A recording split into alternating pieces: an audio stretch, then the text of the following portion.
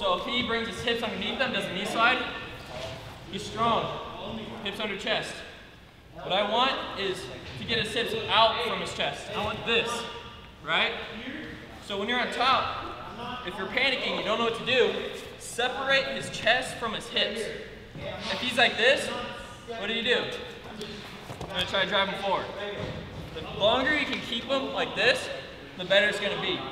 If you feel him starting to get his hips under, get your hips underneath him, first thing you wanna do is to separate this relation. You have to press them forward, or you can suck them back. You wanna get his hips out from underneath them, right? If you're standing on one leg, you want your leg underneath you, not over here. So first thing, hand cupped, we're gonna separate this hips from his chest. Off to the back, bringing the stuff here, between the legs. That's my favorite one. Come under here, car ride, bump forward. We just need to shove them forward. Right? What we did yesterday, knee slide. By guy on bottom, knee slide out. Guy on top, I want you to bring his chest over his hips. Don't let him get his weight back. Keep Your weight, get his weight on his hands. All right, it's gonna be quick.